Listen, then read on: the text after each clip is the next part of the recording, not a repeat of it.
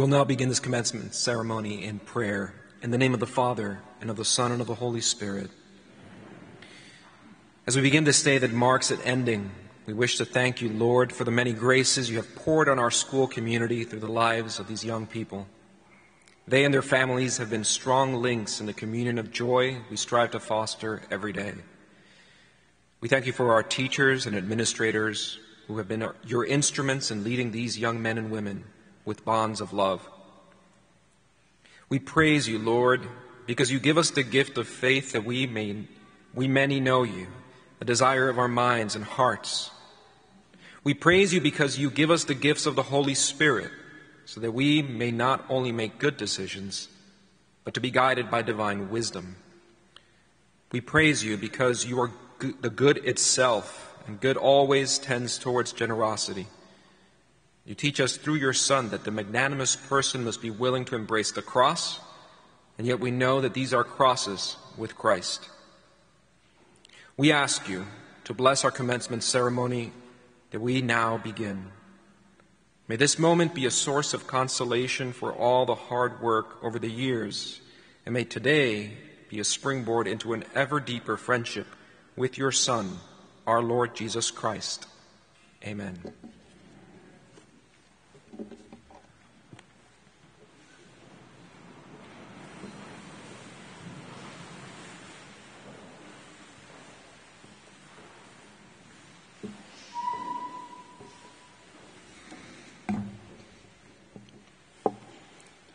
Thank you, Father. Good morning and welcome to all our guests, but most especially to Holy Spirit Preps graduating class of 2021. I want to begin by congratulating this wonderful class for being so cooperative and joyful since the beginning of the pandemic in March of 2020. I also want to take this opportunity to celebrate those of you who tried your best to live up to the example of Christ by being kind, loving, supportive, and accepting of others, especially your peers, and those who earned their grades, no matter what they were, without taking any shortcuts. You might not be recognized here today, but you are known and you are appreciated. G.K. Chesterton, the English poet, philosopher, orator, and theologian, once said, When men don't believe in God, they don't believe in nothing, they believe in anything. Look at our society today. It seems like Chesterton was a prophet. However, the great news for each of you is the one most important truth you should know as a graduate of Holy Spirit Prep. You are a child of God, created in His likeness and image. He loves you infinitely and there's nothing you can ever do to change that. Do your best to love him back and to foster a deep and meaningful friendship with him. Strive to do this, and you will find true happiness in your life. Congratulations, dear graduates. You will always be a part of this Holy Spirit Prep family. We love you, and we will always remain, you will always remain in our thoughts and prayers. Thank you.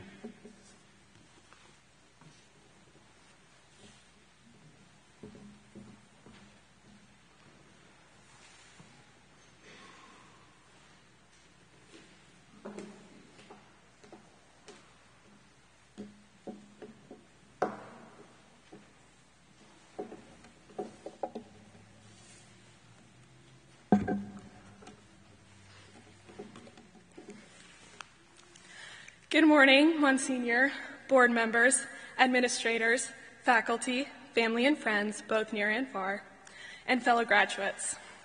I am honored to welcome you to this year's commencement ceremony.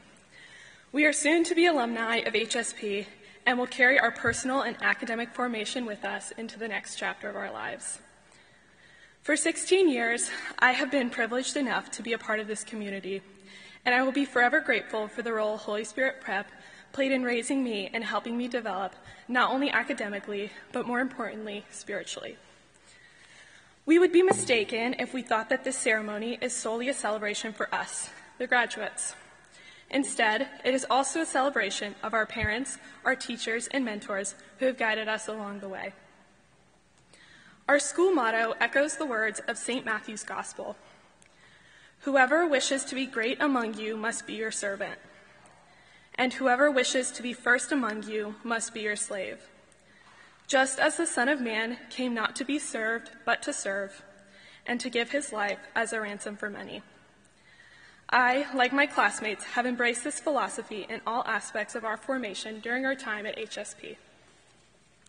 HSP academics have consistently challenged my limits and helped me grow in my discipline and confidence, both of which have shaped my academic performance tremendously. From learning to spell my name in pre K 2 to mastering Riemann sums and AP calculus, this school has always helped me perform at my highest capacity, and none of it would have been possible without the incredible support from my teachers, mentors, and parents along the way. Recently, I realized much of my personal success stems from my faith and I have been blessed that HSP teaches and forms its students in their faith. Looking back at my time at HSP, faith has been a priority, the foundation in my education and personal growth, contributing to my success. The virtues I have developed have exemplified servant leadership and the importance of faith as a part of daily life. The people who have always encouraged me to live my faith have been my mom and dad. Thank you for supporting me in everything I do. Thank you for all the sacrifices you have made for me. Mom, thank you for being my math tutor since kindergarten. And even though you could only offer me moral support in AP Calc, I still appreciate it. Dad, thanks for having a great sense of humor, making me laugh, laughing at my jokes, letting me participate in your theology class assessments, and giving me lots of advice. Both of you have taught me so much and shown me what it means to be compassionate, strong, humble, and faithful. Josh and Luke, thank you for reminding me that I'm the shortest person in the family. Even though I will have you know, I am three inches above the national average height and at least six inches in heels. Annalise, my favorite sister, thank you for driving to school with me for the past two years. I know that it probably took a lot out of you because it definitely took a lot out of me. You're a pretty good DJ and a phenomenal backseat driver. Ava, my favorite neighbor, you have been like another sister to me since first grade. Thank you for all the Magic Mermaid memories. I know you and Annalise are going to miss me when I move a whole 25 minutes away to college. I'll miss you guys too. To the Cabreras, thank you for being my second family and making Halloween, Christmas Eve, and Easter my favorite times of the year. Mr. Adasta, thank you for being a great soccer coach and mentor. Soccer has been one of my greatest sources of joy over the past four years. I hope you never forget the proud moment when I got a yellow card, and I will appreciate the virtues soccer instilled in me, like making me play center back all season, even though I didn't want to. Father Juan, thank you for your guidance in my faith. I will always remember the lessons in your homilies and will be eternally impressed when you once related Nerf guns and baby pools to a gospel passage even though you ghosted the leaders for two weeks. Thank you for the experience of planning Kairos. The experience proved to me my leadership capabilities, and I now have a deep appreciation for the beauty of retreats, but also the stress and chaos of planning and dealing with uncooperative high school boys.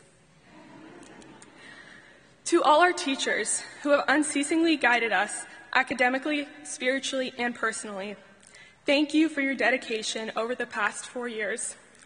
Your examples of compassion, leadership, and faith have profoundly impacted us and shaped us into the young men and women we are today. Despite the knowledge we have gained over the past four years, we graduates still have a lot to learn. We've spent countless hours discussing the Lord of the Flies from the singular analysis of Simon as a Christ like figure. Singing the 50 States song we learned in third grade, arguing about water being wet, and using the solve function on our calculators during math tests. Thank you also for the memories like singing Yes, I Believe at lower school masses, going on field trips like New Echota with lots of questions and loud hands because we've never been good at silent raised hands, and all of physics class with Peppa. Needless to say, we have made many memories together, and I want to thank all of you for making our high school experience everything it was.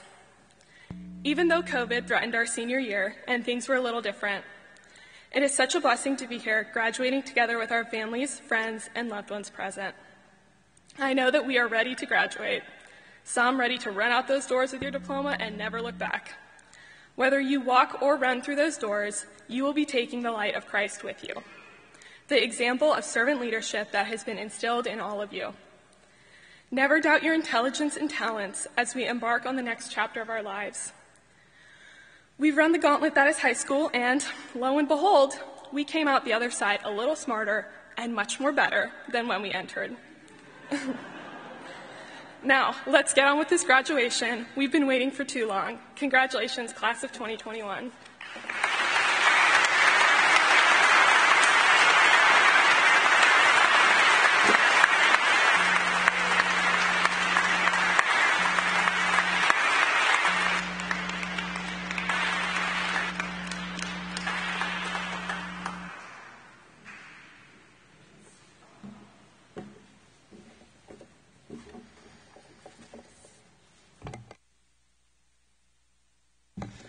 Good morning, friends and family of Holy Spirit Preparatory School.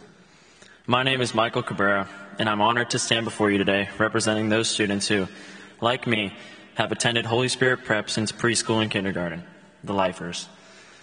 Joining me as Lifers are Peyton Devine, Madalena Jones, Leah Krupzak, Alexa Lambert, Sophia Oliver, Alex Platty, Patrick Adosta, and Christian Rubio.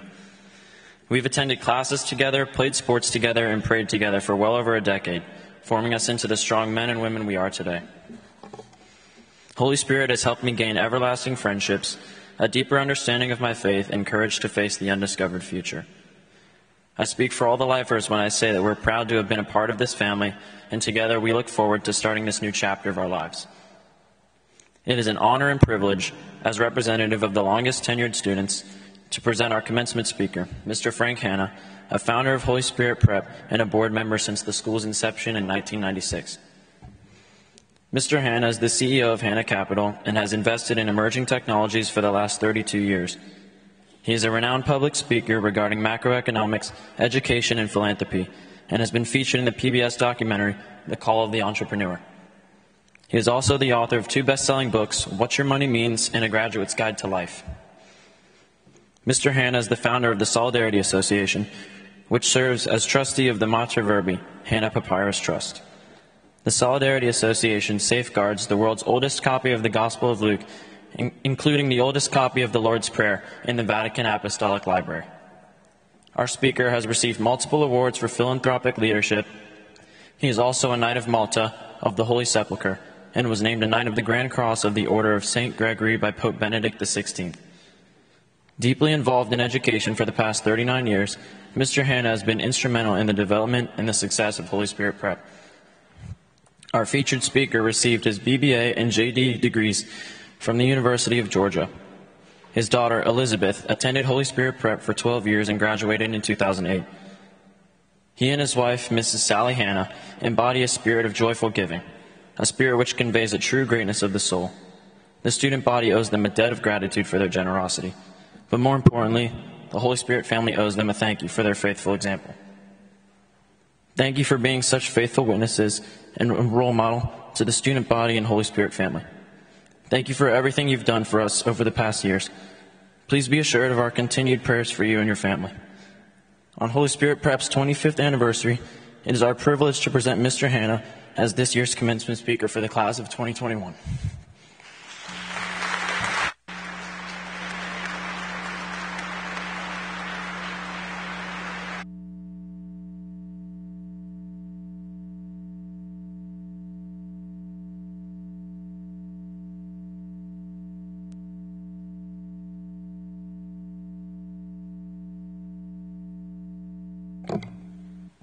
Very much, Michael. Thank you, Sophia. Um, thank you, Bishop Ned Shlesinger, for being with us, Monsignor Dillon, Dr. Lyndon Kugel, Father Juan. There's so many people who are part of uh, this beautiful communion of joy that is Holy Spirit Preparatory School. And I'm grateful to be here uh, to speak on our silver anniversary of our wonderful school. Today's a joyful day. You've made many sacrifices to get to this day. And there have also been many others who've made sacrifices for you to be here. This school didn't just happen, and your being here didn't just happen. God has had a plan. And He has a plan for your future. And that's what I want to talk to you about for just a few minutes today. As I prepared for today, I thought back to my own high school graduation many years ago. I don't know what each of you graduates are thinking right now, but I can tell you the dominant thought that was in my mind as I graduated freedom. Freedom. I can't tell you how much I was in love with the idea of being independent. Now, don't get me wrong, I, I was blessed with two loving parents and a wonderful home and childhood, but boy, did I ever look forward to my freedom and independence. I hope you're looking forward to yours too. I hope you are looking forward, maybe even with a little bit of nervousness, to your looming adulthood. You are all children of God, and you're still your parents' children, but you're not children in the world. You're adults, and you will have freedom and independence. So here's one of the two things that I hope you remember from my talk today God has given you your freedom and independence for one reason and one reason alone. And that reason is so that you can choose what you are going to be attached to. That's it. That's the only reason for your freedom. You've been given freedom so that you can decide what you are going to give it up for. And God and I and your parents are hoping that you will give up your freedom for the right things. Because here's what I've found we all give up our freedom to someone or something. We can't exist otherwise. I believe we live in the greatest country on earth. I love my country. But we have elements in our culture that are misguided. And one of those misguided beliefs is that freedom is the end for which we are made. Freedom is necessary for human beings. Freedom is a gift from God. But freedom is not an end unto itself. Instead, we have freedom so that we can choose that to which we will be attached. We have freedom so that we can choose what we're going to love. For you graduates, if you are like I was when I was in your shoes, you're filled with adrenaline at the idea that you will get to decide more things for yourself rather than having others decide for you. And guess what? I want you to be exhilarated by that prospect. I want you to be excited about your freedom. I want you to be exhilarated and excited because freedom is a wonderful gift. So embrace it. But, but, but, but, know that you are going to give up your independence to something or someone. And so here's what I want you thinking about. To whom or to what are you going to get attached and then grow to love? Now, because we're here to celebrate our graduates, I'm not going to pick on them. I'm going to point out to them some of the things that the rest of us mistakenly choose to attach ourselves to, and thereby we grow to love them. We attach ourselves and then learn to love our phones. Sometimes they're more important to us than anything else that's going on. We attach ourselves to and learn to love our professional reputations. We attach ourselves to and learn to love what our friends think of us. We attach to and love what our coworkers think about us. We attach to and love how many people we have as friends on Facebook or how many see our posts on Instagram. We attach to and love our me time. We attach to and love our travels or our adventures. We attach to and love our comfort and dare not anyone disturb it. We might also attach ourselves and love alcohol, recreational drugs, too much television, too much internet, too much vulgar and violent television and internet. We might attach ourselves and love to gossip. We might attach and love to judge the intentions and motivations of others. And we might attach ourselves to FOMO. For those of you who don't know, FOMO is an acronym that stands for fear of missing out. In this age of interconnection, how much of our lives are attached to FOMO? And in the end, what we attach ourselves to, what we love, becomes what we worship. There's a reason the first commandment that God gave to Moses is the first commandment. In that commandment, God tells Moses that we're to love God first, and He is to be the only thing we worship. Because here's what God knew. And He knew this because He made us. He knew that He made us with a hunger to attach and love and worship. He also knew that the only way we could actually attach love and worship was if we could choose with our freedom to do so. But he also knew we would have other temptations. So that's why he gave us the first commandment. These days, I kind of chuckle when someone tells me that they are spiritual but not religious. They often say it as if they've reached some stage of independent transcendence. They'll say that they're not interested in religion with all of its rules. And I smile because I've never met anyone who is not religious. Religion is essentially the way each of us decides, with our own freedom, how we're going to live our lives and what we're going to worship. Everyone I have ever met has a code by which they have decided to live their lives. And for them, this code of behavior is essentially their religion. I have friends who tell me they don't go to church on Sunday morning as they feel God is out in nature. And they're closer to Him when they play golf on Sunday morning rather than going to church. I get it. They don't want to miss a weekly golf game. We all choose a God we will worship and sacrifice for. We all use our freedom to pick that to which we will attach, love, and come to worship. By the way, I love to play golf too. And that's why I have to make sure I don't get too attached to it. But the main point I want to make to you graduates is this. You are now an adult with freedom. You will have a religion. You will give your independence to something or someone. Don't kid yourselves. So given that you will give away your independence, think about who or what you will give it to.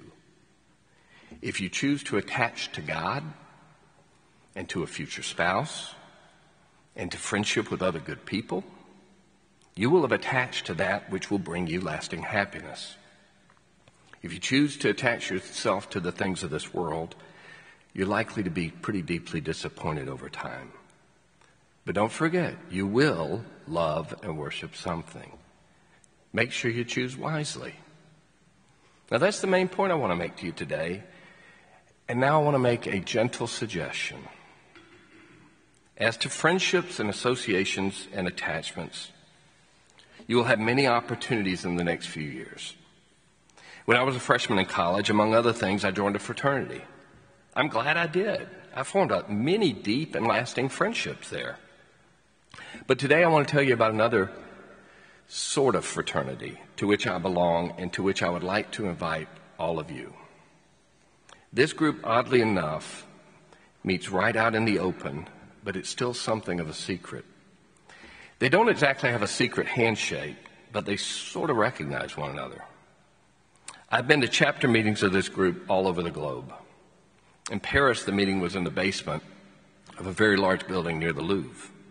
In the Philippines, it was actually in the middle, if you can believe it, of an open air shopping mall at 5 in the afternoon.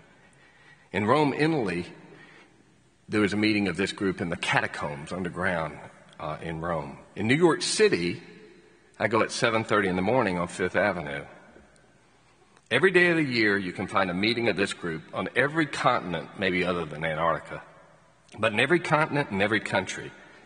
I've been in Mumbai, India. I've been among native people in New Zealand and in almost every state in this country. Every day, there are more than 10,000 places around the world where this group meets. Some of you may have guessed what I'm speaking about. I'm talking about daily Catholic Mass. Now, I know some of you, maybe, maybe many of you in the audience may be thinking, daily Mass? Isn't that for religious zealots? I barely want to go once a week. Who would choose to go daily?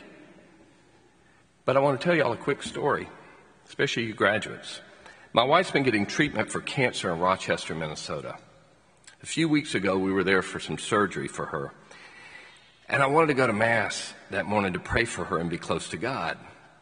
Now, I've already told you I've been to daily Mass from India to New Zealand to Paris, but this particular day on a cold morning in Minnesota, something struck me during Mass. I had had trouble finding the church, so I walked in about five minutes late and I sat down the pew halfway back in the aisle. And as I, I came in there and sat among these people, I realized no one asked me for a ticket. No one asked me whether I belonged. No one asked if I'd made a reservation. I was a thousand miles from my home and a total stranger to everyone there. And I was able to walk in and act like I belonged because I did belong.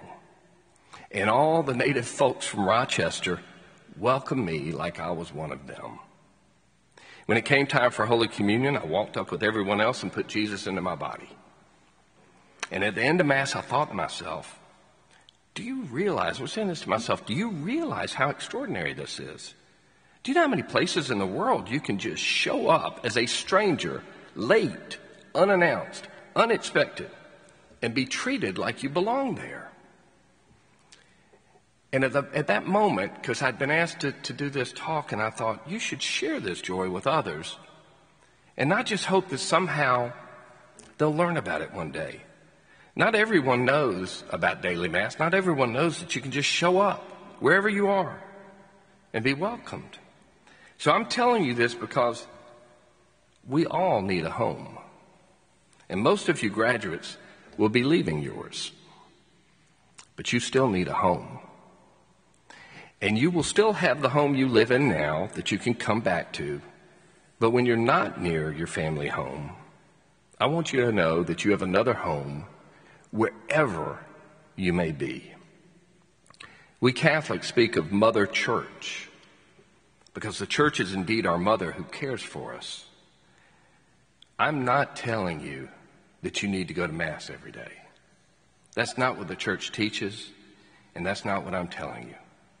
What I am telling you is that when you need a home, when you are lonely, when you are depressed, when you feel forgotten, when you feel rejected, when you need a mother, when you need to be around others who are praying to God and will pray alongside you, you have a standing invitation from the body of Christ to go to daily Mass wherever you may be.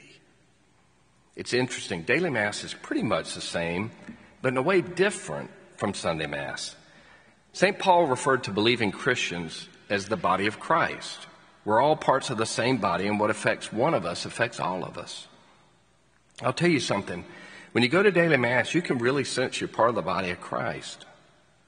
When you go to daily Mass, you see people who are there, there not because they have to be, they're there because they want to be.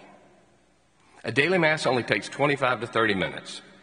In New York at St. Patrick's Cathedral, there are people all over the world gathering in the early morning quietly in a beautiful communion together.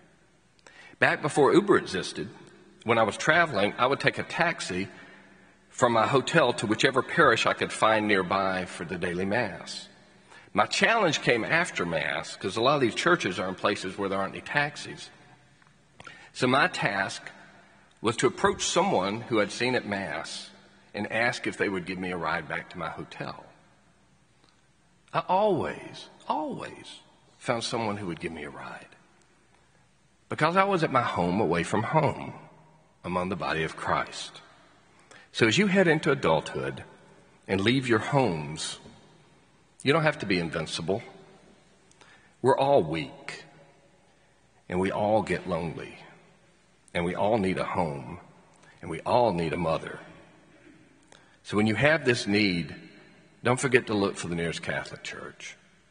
You can be part of the body of Christ and walk right in and be welcomed. As I said earlier, be mindful and think about what you're going to attach yourself to. And when in doubt, remember and reflect on the faith that has been taught to you at Holy Spirit Prep.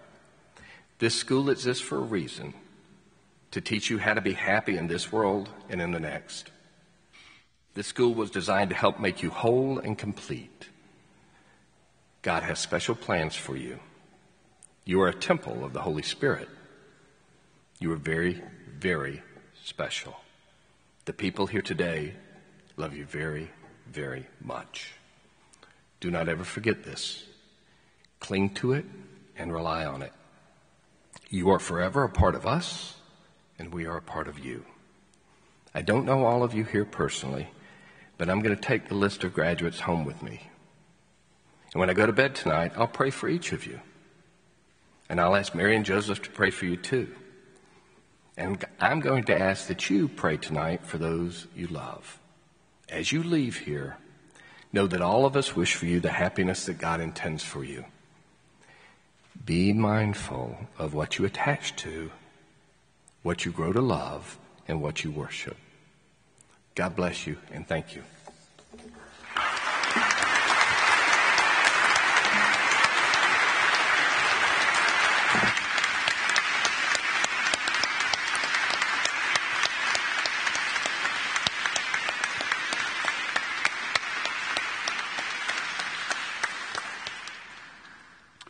Graduating seniors, would you stand, please?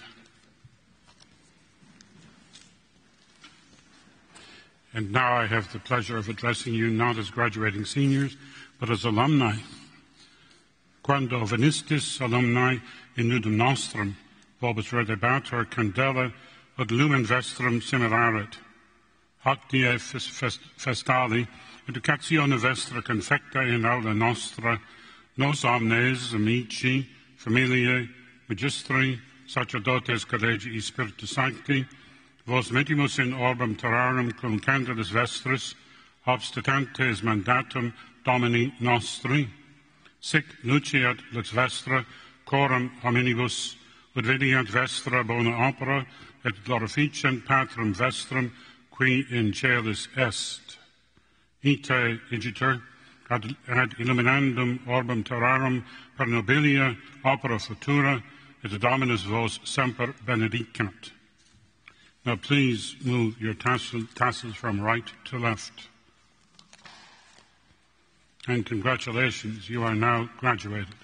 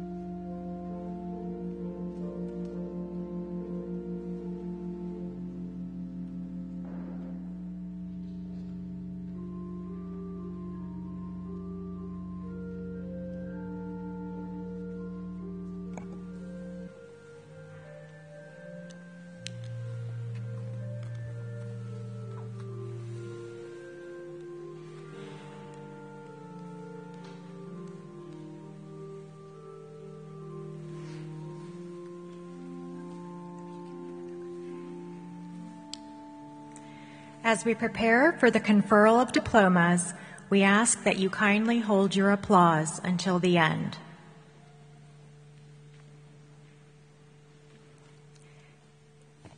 Ainsley Jane Hillman, valedictorian, Order of Gownsmen, graduating with distinction, Latin scholar, math scholar, English scholar, theology scholar, scholar athlete, Girl Scout Gold Award.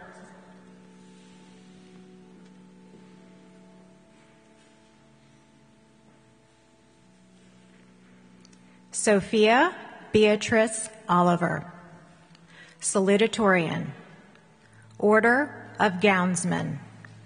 House of Trent President, Scholar Athlete, Senior Athlete of the Year, HSP Cougar Athlete of the Year.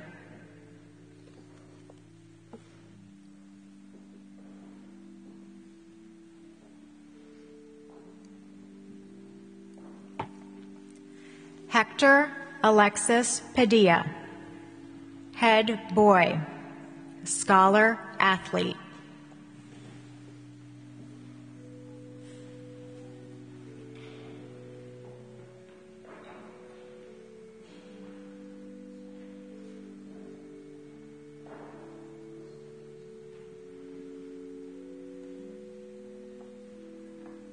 Jerong Lee, head girl, Order of Gownsmen, science scholar, scholar athlete, star student.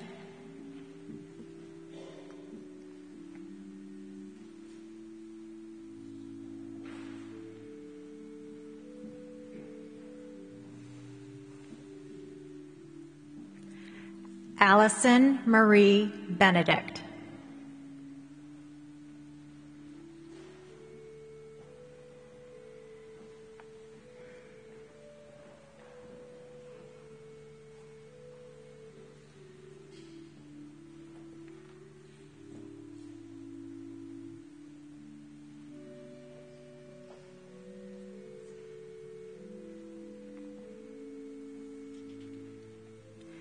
Callie Brooke Bond.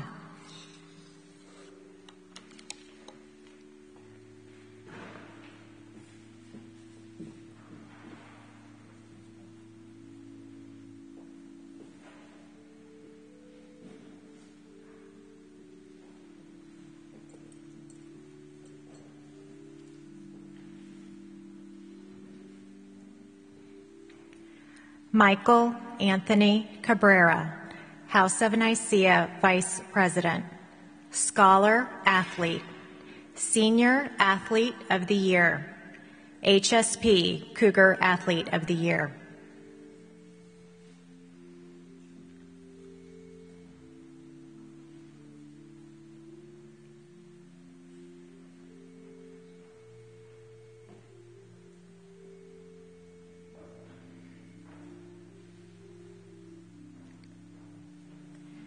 Randolph Greer Campbell.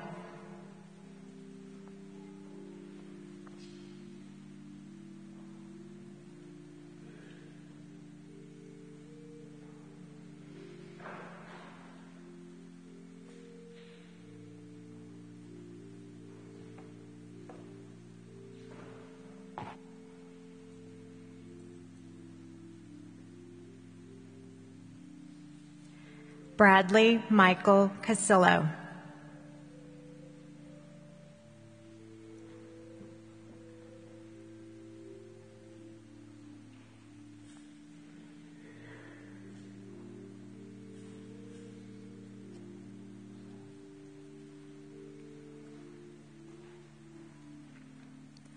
Olivia Ray Santola.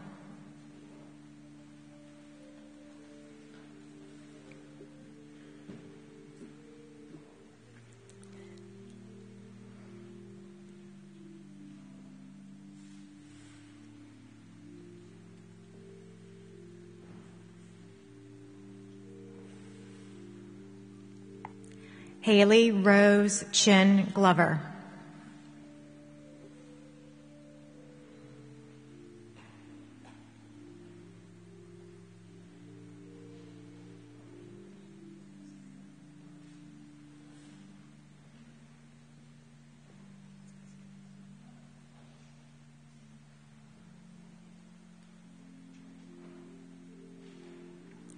Charles Maxwell Cohen.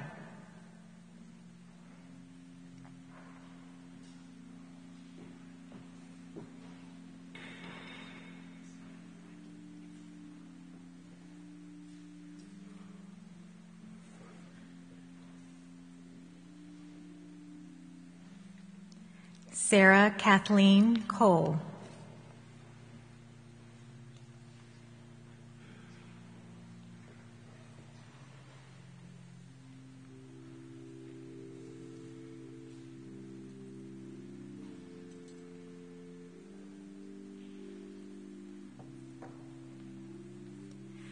Benjamin Daniel Cumby, House of Lyon Vice President, Scholar Athlete.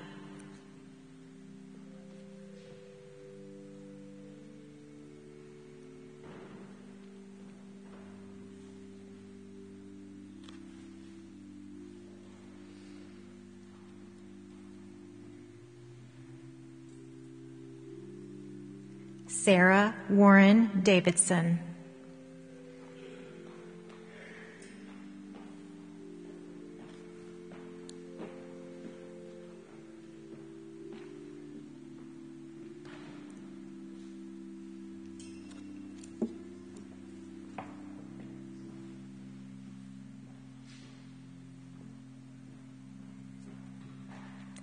Payden Helene Devine, Order of Gownsmen, House of Chalcedon President, Girl Scout Gold Award, Scholar Athlete.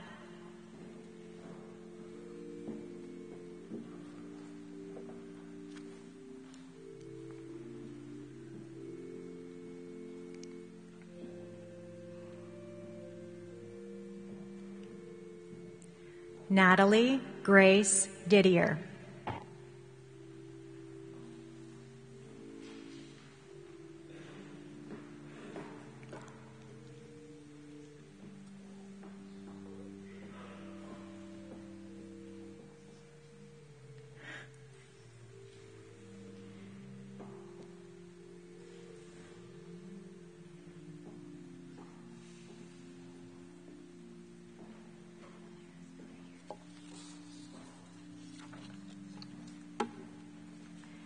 Anne Berryman Fox, House of Lyon President, Scholar Athlete.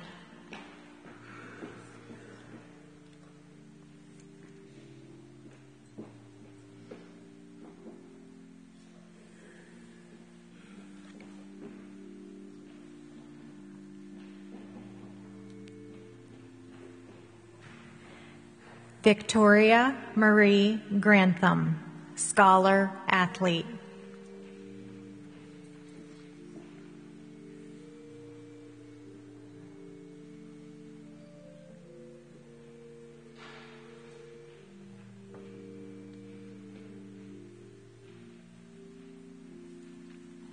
Samantha Marie Gregory, House of Nicaea President.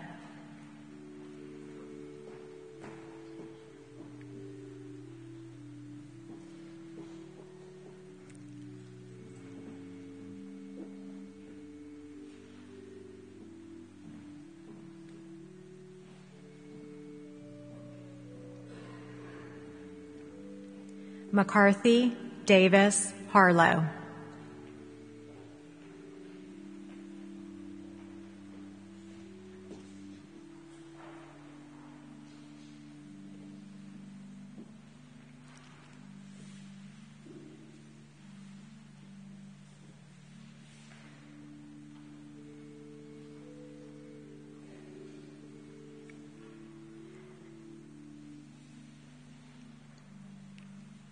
Genevieve Isabella Insalaka.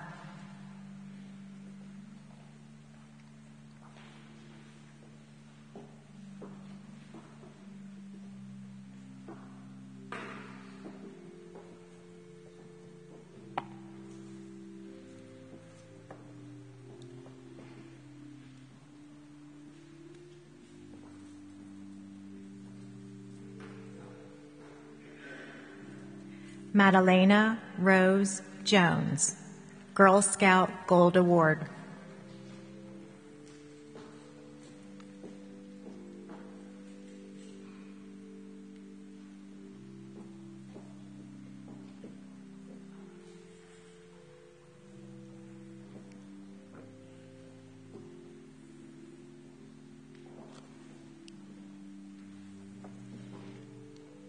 Olivia Rose Jones, Scholar Athlete.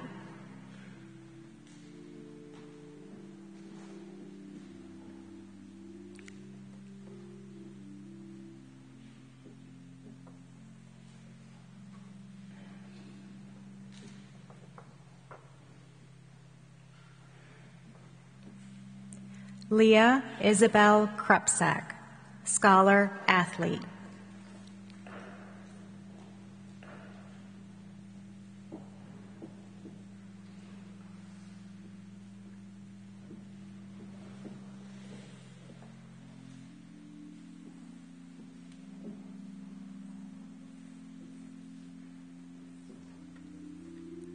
Hilberto Lahara.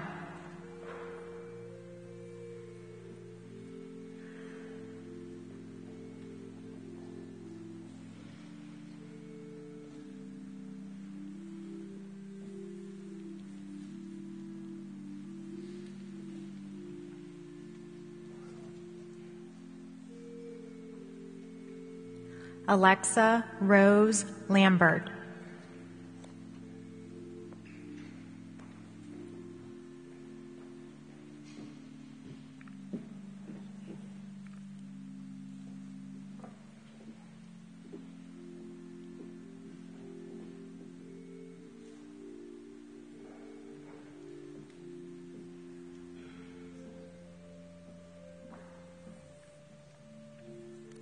Jackson Rush Lehman, Eagle Scout.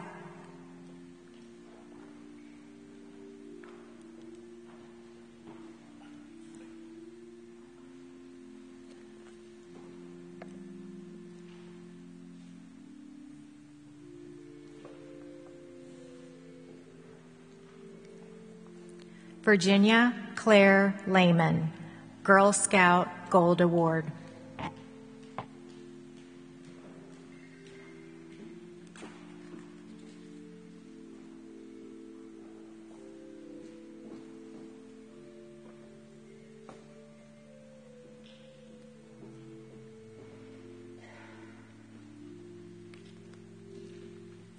Alejandro Javier Mata.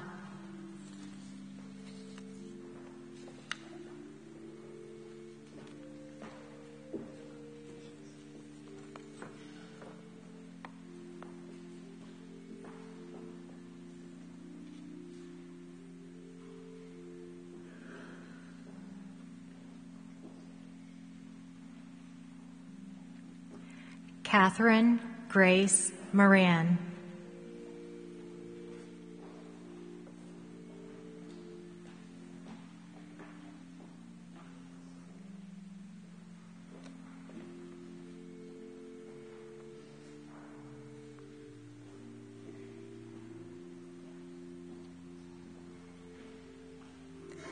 Andres Felipe Murcia.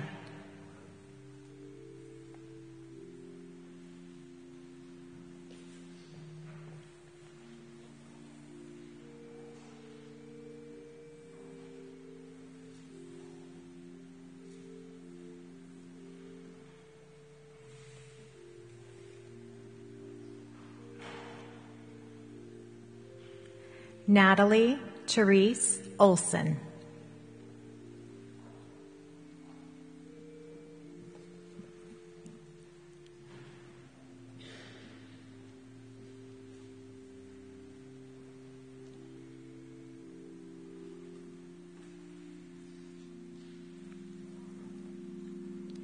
Alexander Mitchell Platty.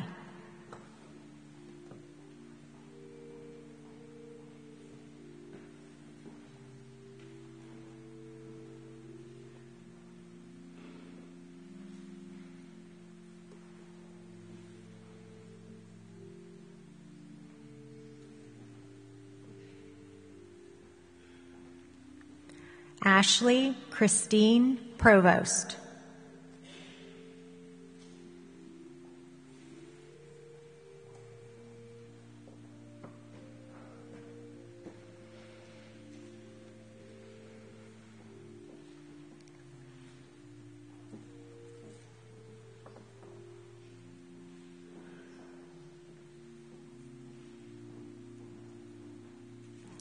Patrick Ryan Radasta, House of Chalcedon Vice President.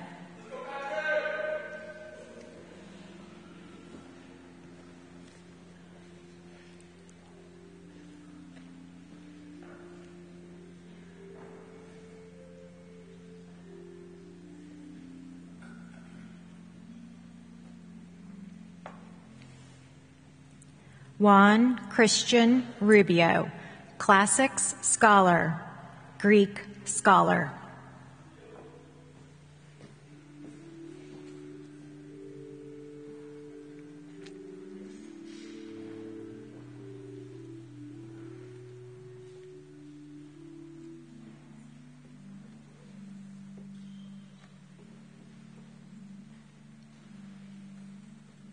Ernesto Daniel Ruiz, House of Trent Vice President.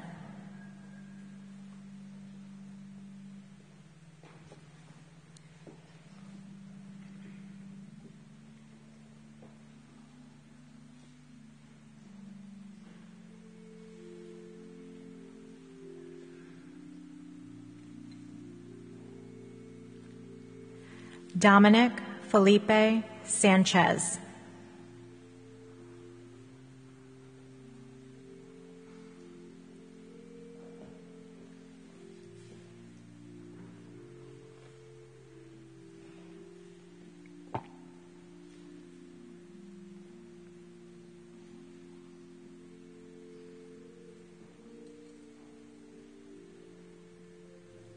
Marie Sautre, scholar, athlete.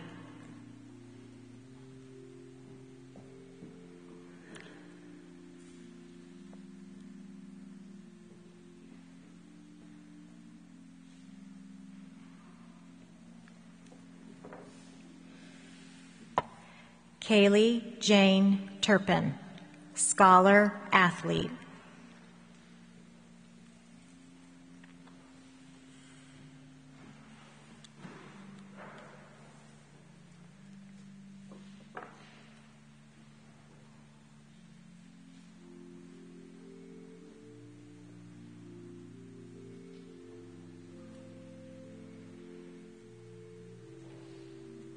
Bradley Rivers Tyre Jones.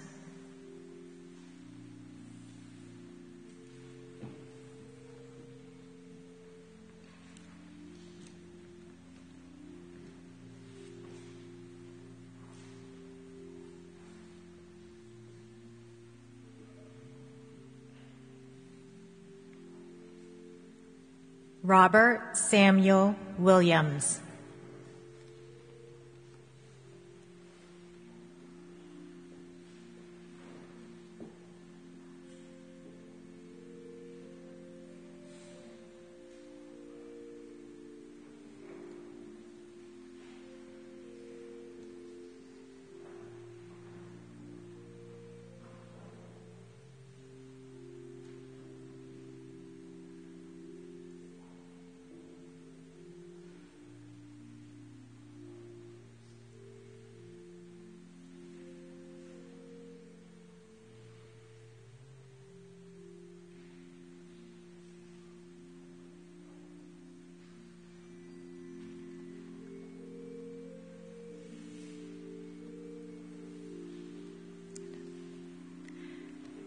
Please join me in congratulating the class of 2021.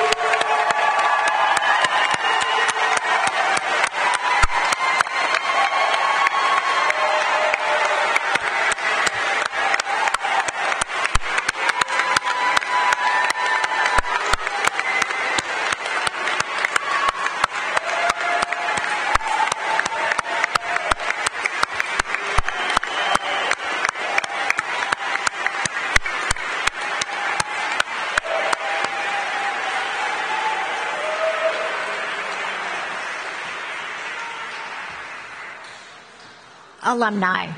When you came into our school, a candle was given to you in order that it might represent the light of your life.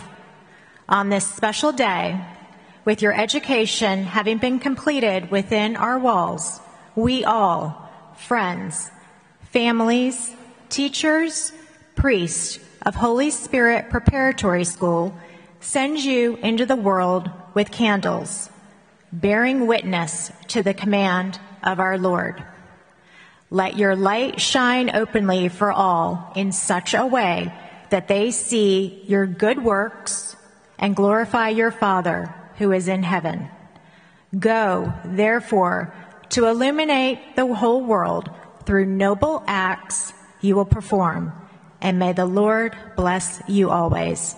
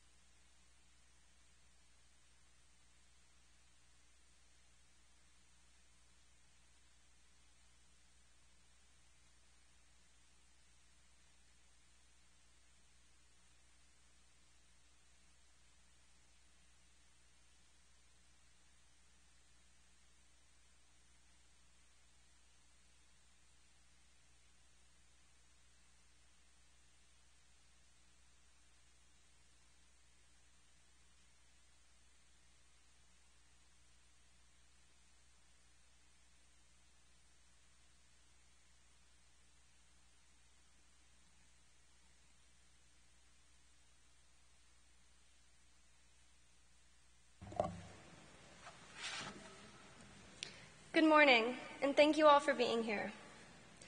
Our class, the Holy Spirit graduating class of 2021, has, in the past year, seen more examples of people living by the school motto, ministrare non ministrari, or in English, to serve and not to be served, than perhaps in our entire lifetime. On behalf of the class of HSP, I'd like to thank those people who live their lives serving others and God. To the church and Monsignor Dillon, for giving every student the opportunity to grow in their faith, and for ensuring that our Catholic education exists beyond simply the classroom. Thank you. To the Board of Directors, for providing guidance and support to our school leaders, for making this year of in person learning possible, and for promoting the best interests of our students. Thank you. To Dr. Linda Kugel and the administration, for pushing through the hardships of the pandemic to give us a fantastic school year. Thank you. To the exceptional faculty and staff, for growing with us these past four years, for giving their all to provide us with a phenomenal education, and for working tirelessly to imbue the values of faith, prudence, and magnanimity within our school community. Thank you. To our parents for supporting each and every one of us in all of our endeavors, and for pushing us to always do our best. Thank you. To our siblings, friends, peers, and to you all, the class of 2021, for lifting each other up at our highs, for cheering each other on at our lows. Wait, other way around. for lifting each other up at our lows, for cheering each other on at our highs, and for being a true second family. Thank you. Thank you for your positive example of showing us what it means to serve others and live in God's love. And you, my friends and classmates, congratulations to each of you. We did it. We've graduated. My name is Ainsley Hillman, and I'm honored and humbled to be giving this year's valedictorian speech. As I sat down to write this speech, I found myself procrastinating, not because I didn't have a lot to say, but because I wanted it to be honest and impactful. And to be candid, I was struggling with my fears for this Friday. These fears included first, falling or tripping at any point whatsoever during the graduation. Second, looking ridiculous in my cap. Third, freezing during the speech due to my aversion for public speaking. And fourth, that my speech will be full of the generic platitudes found in every other valedictorian speech ever. I thank the Lord that I've conquered the first three, and I suppose each of you will have to decide the fourth. I will begin by acknowledging that we are all sick and tired of the phrase, these are unprecedented times. Yet at the same time, they really are. And to me, that's what makes this graduation and our collective accomplishments all the more extraordinary. There are high school students across the country, across the world for that matter, who have not set foot in a school building in over a year. There are students whose entire senior year lacked personal instruction, team sports, extracurriculars, and special events. We are extraordinarily fortunate to be a part of this community. We are fortunate that our church, our school, and our families did not back down from the challenge of creating the best senior year that they could. If not for their work, we might not have been able to have a homecoming, prom, and graduation. So, again, on behalf of all of my classmates, I thank you all for making that possible and congratulate each of you on this remarkable achievement. Blessed Basil of Moreau is noted for saying that we shall always place education side by side with instruction. The mind will not be cultivated at the expense of the heart. When I first heard this quote, I did not truly appreciate its application within my own life. Yet now, standing here before you all and looking back on the past four years, I see it very clearly. Our education at Holy Spirit Prep was about more than feeding our minds. It was just as much about nurturing our hearts and souls. It was not just about creating educated students. It was about creating good people, focused on using their God given talents to help others, ministrare non ministrari. As we move on to our next great adventure, wherever it may be, we must remember to never forsake matters of the heart for educational or material success. Our relationships and passion for service should never come second to an academic, athletic, artistic, or other achievement. I have a little experience in this arena. In middle school, I raced through grades and activities to get into a good high school. And in high school, it was all about getting into college. In many ways, my life was focused on the next destination, and as one might expect, at the end of my junior year, I was mentally and physically exhausted. For the sake of academics, extracurriculars, and all that I needed to accomplish to get to the next destination, I'd forgotten to enjoy the ride. Everything family, friends, and at times even my faith was secondary to a goal. I'd allowed my mind to be cultivated at the expense of my heart. And just when it felt as though I was losing my grip and my strength for change, COVID 19 washed over the entire world and upended just about everything. With the benefit of the quiet months of quarantine, I, like many of you, made the choice to shift my focus back to God, family, and those who matter most in my life. I began to actively seek out time to appreciate the journey and those who travel it with me. I redoubled my efforts to live as a servant leader and embrace our school motto Appreciate the time you have left with your high school friends. Remind your family how much you love them, and thank your teachers and coaches for their hard work and inspiration. Remember as you move on to college to feed your heart and soul. Do not allow the pursuit of achievement to overshadow your commitment to the relationships that sustain you and the community that you are called to serve. Your talent is God's gift to you, and what you do with it is your gift to God. As a part of the admissions process for the University of Notre Dame, go Irish, I had to write an essay on what God and the Good Life meant to me. The prompt comes from an interdisciplinary course called God and the Good Life, which asks students to consider moral questions about what they believe and how they want to live their lives. It was a weighty question, and I had a generous 250 words to try and answer it. I looked everywhere for inspiration. I asked my parents. I sought the advice of teachers such as Mr. Rose and Mr. Rieger. I asked my peers and even my younger siblings what they thought the phrase God and the good life meant. And though each person had their own individual interpretation, there was one universal theme strength is found in service and giving.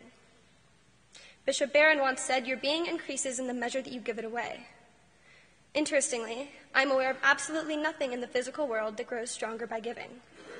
For example, steel grows stronger by taking more carbon, Solutions become more concentrated by receiving additional solute, and people are made physically stronger by increasing their cardiovascular and strength training. However, the human soul is different. The soul grows stronger by giving, and thus the single natural anomaly, the human soul, made stronger when we are kind, when we are generous, and when we are grateful. The happiest and most fulfilling times in my own life were those in which my efforts were focused on others. The corollary is also true. The times when I was most unhappy and unsatisfied in my life were those in where I was primarily focused on myself. The good life is one lived in accordance with God's call for us to serve others. And in our service to others, we find a life centered on gratitude, fostering happiness and ultimately creating a better world. Guided by God's call to service and to treat our neighbors as ourselves, we will all find a good life. Our class has seen fantastic examples of people living by God in the good life. We saw our parents band together to organize FOCO, prom, and our senior trip, none of which would have been possible without them. Our teachers and school leadership worked through the challenges of our time to provide us with the best senior year experience possible. It took strength to be one of the few outliers in the Atlanta school community who are full time, in person, arts and athletics included. As friends and classmates, we've lifted and supported each other this year in amazing ways, sharing in each other's successes. In doing these things, each of you were servant leaders. By showing each other and the world what it means to serve others and live in the image of Christ, you prove to yourselves and each other what it means to live by God in the good life. As we move on to our next adventure, diploma in hand and bags packed for college, I challenge you to draw on your faith. I challenge you to personally discover what God in the good life means to you. As I mentioned, there was a bit of procrastinating and late night searches for that special inspirational spark that preceded my remarks today. As a part of that process, I stumbled across Conan O'Brien's 2011 Dartmouth commencement speech, and I read the entire thing. May I just say he's hysterical. Nearly the entire speech was a roast of Dartmouth, mocking their school motto, their fictional alumni such as Meredith Grey and Pete Campbell, and even the university president, in only a way that Conan O'Brien could pull off. Yet somehow, by the end of his epic roast, he managed to leave the Dartmouth graduating class with a lesson that most people require a lifetime to learn. He said, There are few things more liberating in this life than having your worst fear realized. But today I tell you that whether you fear it or not, disappointment will come. The beauty is that through disappointment you can gain clarity, and with clarity comes conviction and true originality. Work hard, be kind, and amazing things will happen. Friends and classmates, today we step into the real world. No more training wheels, booster seats, or handrails. Not one of us is guaranteed tomorrow, and much less an easy ride. Failure will come, and God will guide you through it. Know that there is beauty in the disappointments and failures that you will face. Though we might physically appear no different than the millions of other high school graduates in America, we have one great advantage. our time at Holy Spirit Prep. Over the past four years, and even longer for many of you, we have been taught not only the benefits of hard work, but the equal importance of kindness and service to others, regardless of how many disappointments we might encounter. Draw on the strength of that experience when you face disappointment. Remember that God did not create you to live depressed, defeated, guilty, ashamed, or unworthy. You were created in the, in the image of God. You were created to be victorious. When challenge comes, lift your eyes to heaven and your hearts in prayer, and then go serve someone who has had even greater struggles. Serve others, and you will find your purpose again. Serve others, and you will find your way to living by God in the good life. Thank you.